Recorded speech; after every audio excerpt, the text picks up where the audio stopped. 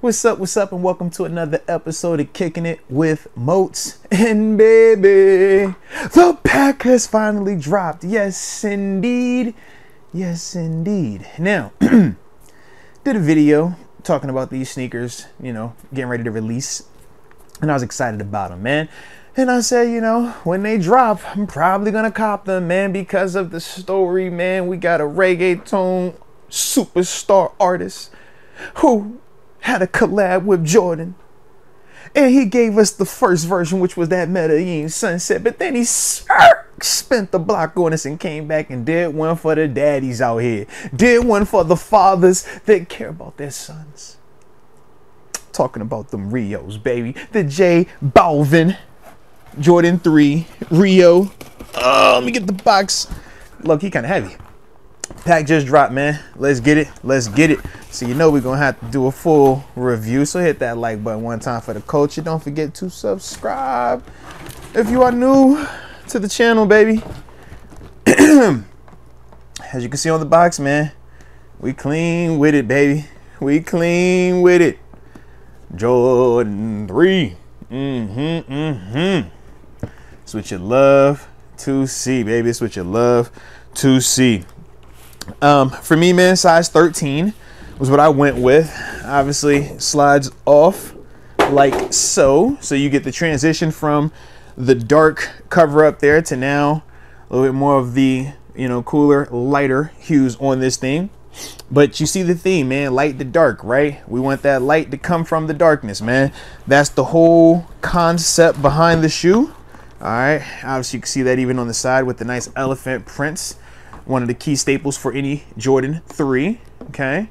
And then even on the outline of the box on the siding of it, you can see, like I said, the colors, right? How they pop beautifully, that transition, man. And then obviously the J Balvin logo sitting beautifully up top as well. Oh, stuff just dropping, dropping, dropping, dropping. It be like that sometimes though, right?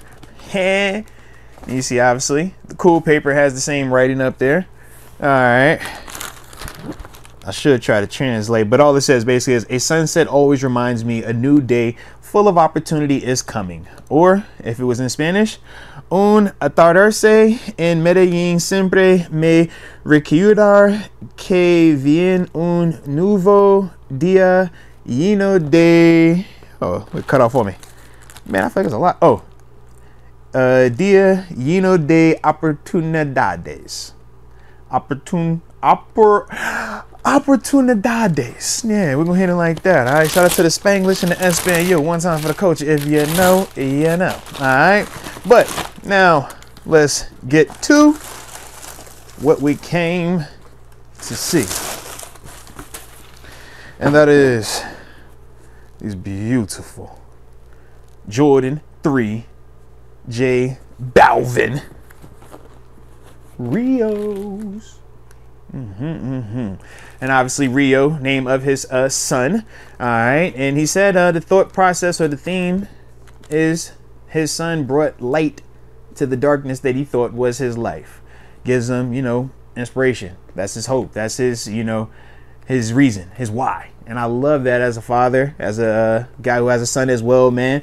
And I think of the same way how I look at my little guy and I'm like, man, I see all the beautiful things in you. You feel me? Even though you came from me, which is not always the most beautiful thing. It's like, man, I respect that, man. So, like I said, I definitely was going to support the movement. But then when you throw in just the simple, you know, colorway, right? Predominantly black. You can never go wrong with a predominantly black Jordan sneaker. Can never go wrong with that. But then you throw in your Jordan 3, you know, accents on the heel and on the uh, toe box, right?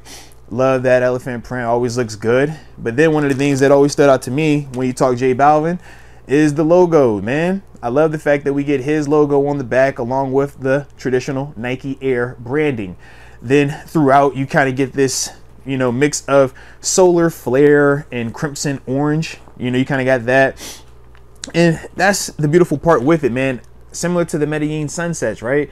You have the uh, lighter color. I think it was the cell as a whole, but then from there you start to get some of that orange. I believe it was some purple. It might have been in that sneaker as well, just kind of signifying or uh, representing the different colors that you see when you see a sunset. Uh, a sunset, you know, some of the orange stuff like that, man. So I definitely was digging that. Let me get some of this paper out of here.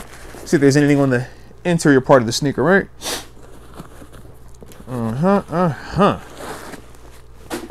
All right, but obviously, like I said, man, it comes with the additional orange lace. Y'all let me know. We lace swapping these. We're gonna swap them out, or we keep the things black. I can see it either way. Low key, might have to throw it with the hoodie. See what time we on. TBD, TBD. All right, y'all know I'm gonna take this off. I don't, I'm, I don't know why I'm weird about it. I don't like stuff dangling on my shoes, but still fire though. Shout out to it, man. But yo, on the inside, got a little bit of the sunset kind of being shown in there. Same on that one. And then obviously the soles or bottoms of both sneakers. Got that beautiful, beautiful pop of color. Can't go wrong with that. I just think the contrast, man, and the same on the tongues as well. I just think that contrast, man, off of the black, it just flows perfectly, man. And yeah, let me get this paper out.